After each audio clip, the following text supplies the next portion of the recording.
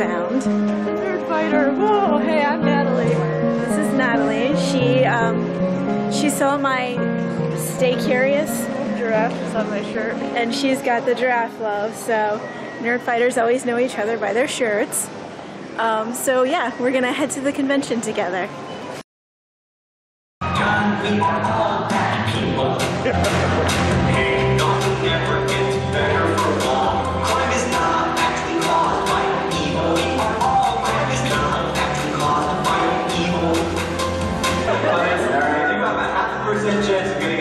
No, it is 5%. No, it's not. It's a quarter. Here's to a thousand more secret projects. We fell in love with nerd fighting and couldn't let it go. So to 2008, we say hello.